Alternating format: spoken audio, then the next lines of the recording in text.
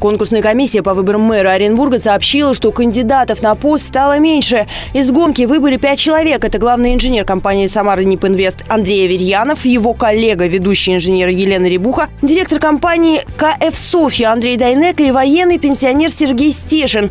Эти кандидатуры были исключены после подведения предварительных итогов проверки документов. Самоотвод взял Денис Дьяконов, директор компании «Движение». При этом в числе кандидатов на пост главы города по-прежнему остается несколько официально нетрудоустроенных человек. Напомним, имена главных претендентов на кресло мэра будут озвучены 10 декабря, а официальное решение о том, кто встанет у руля Оренбурга, будет принято депутатами на очередном заседании Горсовета.